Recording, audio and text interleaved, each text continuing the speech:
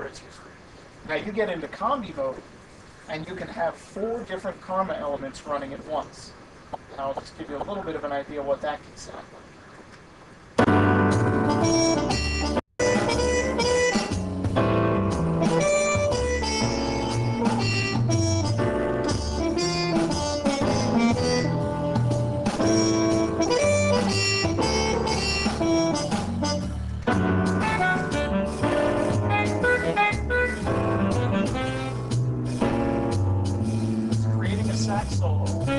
That I gave you.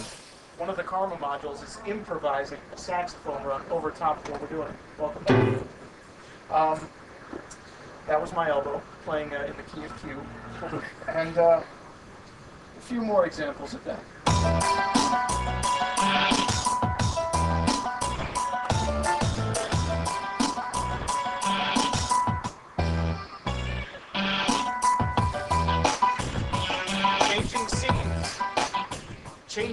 Scenes affects all four karma modules at once.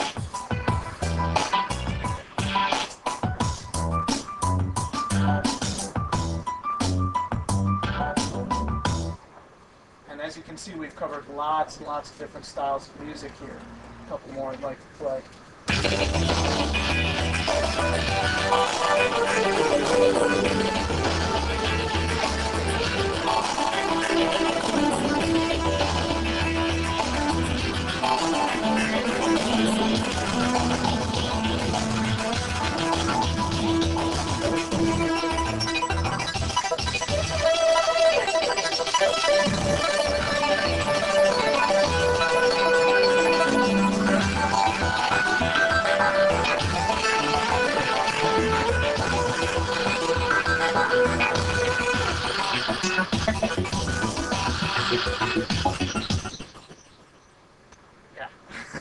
Lots of mad scientist stuff happening.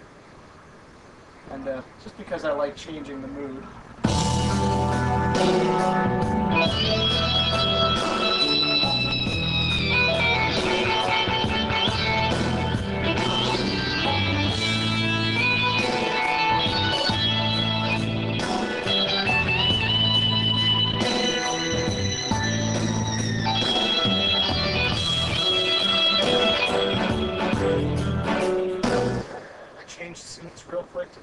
Strings. Nice stuff. Again, this is all programming genius by the same guys who brought you the sounds of the M1, the Trinity, the Triton. When you get a team of guys that good, you just don't let them go. So, we've heard how good the M3 can sound. Let's talk about recording. The M3 has a high resolution sequencer with all the familiar Korg tools that people uh, have been requesting over the years, like cue lists, so you can string sequences together, RPPR, so you can play an entire pattern from a single key. And of course, it's very easy to use thanks to the color touchscreen. What I'd like to show you is, let's say you get inspired by one of these fantastic combis. I'm just going to choose one here. Yeah, one of my favorites. All you have to do, if you want to record a combi exactly the way you're playing it, is to hold down the enter button and press record. And then you touch OK on the screen. It's called one touch record. Push start, and after a two measure count in, you're recording exactly the way you just played.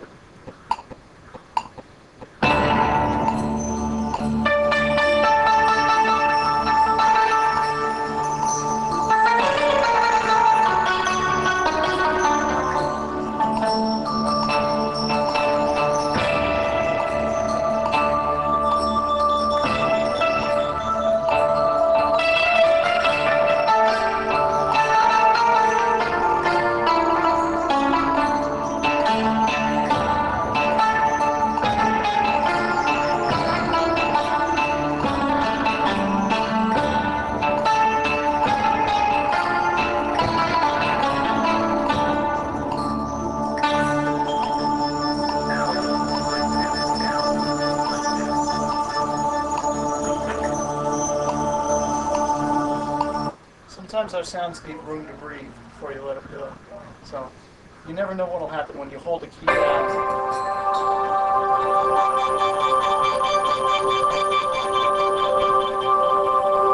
Could morph into five other sounds. So we just recorded everything that I did, for better or for worse. Now, let's say that we wanted to save our progress as a WAV file. All I need to do is press those two buttons. Press start, play the song back, and it creates a two-channel WAV file on my very convenient USB media. From there, I can USB it over to a computer, burn a disk, or I can plug in a USB CD burner directly to the back of the M3 and create an album right from the touchscreen. If I go into the media uh, mode, there's a Make Audio CD tab. All I need to do is select the WAV files, insert them in the order that I want. I can even edit the WAV files, do some final mastering. So from start to finish, the entire project is there. Now, that's one way to create music using a combi that's already in there. But let's say you want to start from scratch.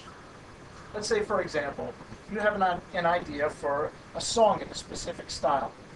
I'm going to create a new song here, and I'm going to call up a song template. Somebody think of a style of music. Anything. R&B. R&B? Done. I load up the R&B template. I can optionally copy a preset pattern. So I'm going to do that, and it asks me what kind of pattern I want. That's okay.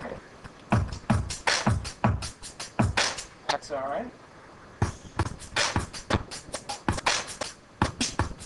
That's the one.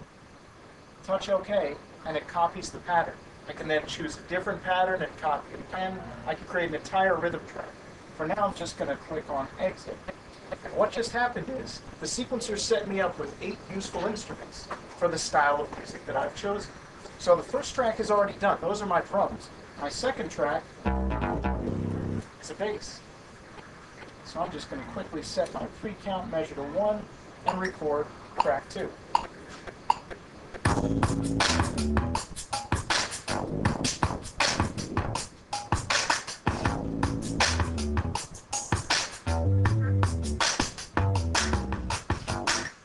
Alright, got a little four bar loop. Track 3 is electric piano. Pretty nice.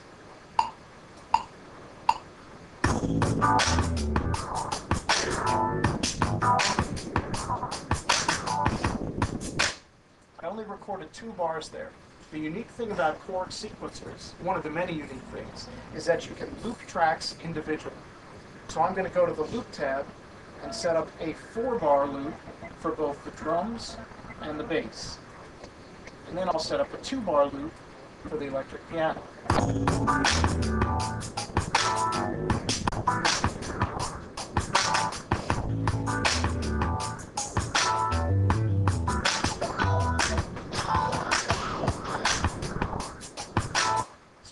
Whole uh, bunch of other preset sounds ready to go, and there are eight tracks that are empty.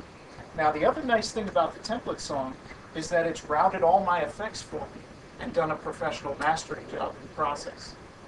The M3 has five insert effects processors. And as I'm sure you heard when I was playing that rock guitar thing, the effects are insanely good. In fact, uh, the ToneWorks modeling from our uh, guitar processors is in here. So I can plug in a real guitar, run it through a virtual chorus pedal, a virtual guitar head, like a Vox AC30 or something like that, create a virtual guitar cabinet that's matched up to that head. Then I can model a microphone. I can choose from vocal condenser, vocal dynamic, multi-pattern condenser. I can decide how close I want it to the amplifier, and then model a tube preamp. Then once I'm done with that, I can you know, play the guitar, actually hear the sound of the AC30 in a room that I've designed in the keyboard, and record that right into the sequencer. You can record audio into the M3 sequencer, and you can do so on all 16 tracks. It does not edit in a traditional uh, uh, digital audio workstation format because you are using sampling RAM when you do that. But if you need to record 16 tracks of audio, it can be done. Wouldn't call it its primary focus in the sequencer, but in a pinch, if you need to plug in a mic and record a quick vocal, to go.